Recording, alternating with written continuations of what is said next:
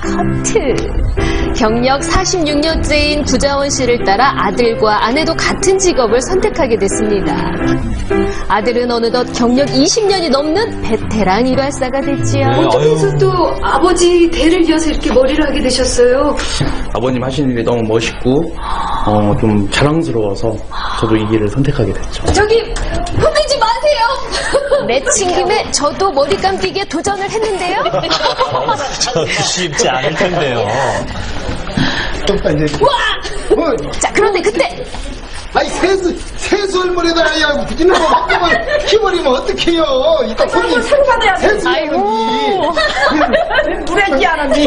아이고.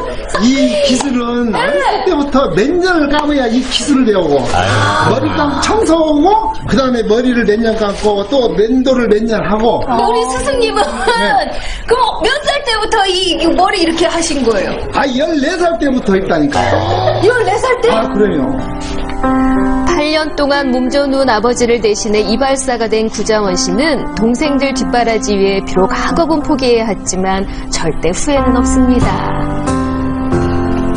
학 친구들 가서 학교 졸업하고 그럴 때는 아 나도 중학교 갔으면 저렇게 졸업했을 텐데 못 갔구나. 또 고등학교도 역시 마찬가지고. 그래서 어차피 나는 이 길을 택했으니까 내가 지금은 이러지만 나중에는 내 먼 날 내가 나을 것이다 실력을 인정받아 국제대회를 휩쓴 구자원 씨. 그리고 아들 구본영 씨에게는 아버지는 최고의 우리. 딸에게도 어떻게 가업 이어주실 생각이세요? 예. 그렇지 않아도 그 며칠 전에 돌잔치를 했는데 네. 그뭐 청진기도 있고 판사봉도 있고 뭐 여러 가지가 연필도 있고 막 그랬는데 갑자기 놓여 있는 가위를 이렇게 딱 집더라고요.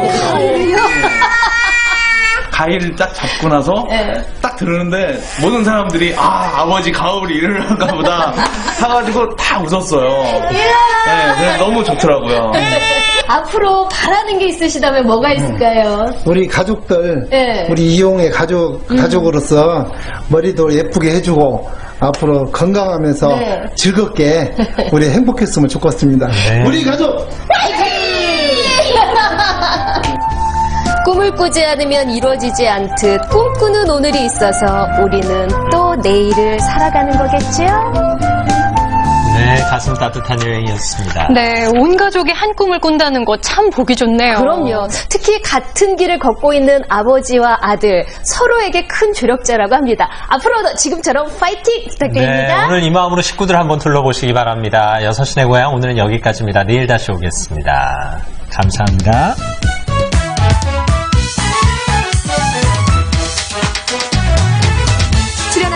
분들께는 움트리 강와사비에서 농산물 상품권을 드립니다.